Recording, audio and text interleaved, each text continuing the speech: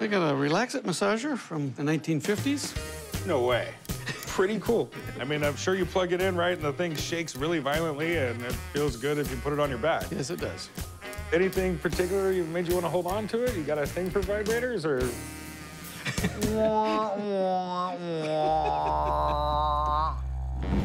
My Relax-It massager was made in Hollywood, California, back in the 50s. I've used it a couple times. I'm asking for a thousand because I really don't know what it's worth, and I'd like to sell it for me to get money. it's cool, it's neat. I mean, it looks like an Airstream trailer with a handle on the top of it. I mean, just like something that came out of the 50s, you know, where they had all these crazy things coming out with electricity, and this is one of them. The funny thing is, they probably make them the same way today. I mean, Not one that's 115 volts.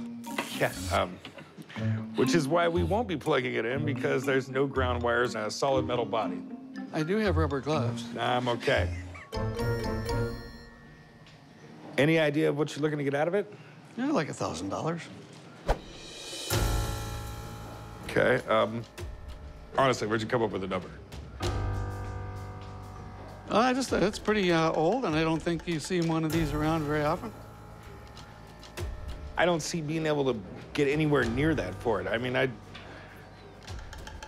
It's kind of fun. I'd offer you like 50 bucks for it. How about a hundred? I'm not gonna give you a hundred either. Uh, 50 is good. Sold. Sold? All right. Chumlee, write them up. Bring it with you. I'm fine with $50, but uh, if I could have demonstrated, they'd have bought two of them.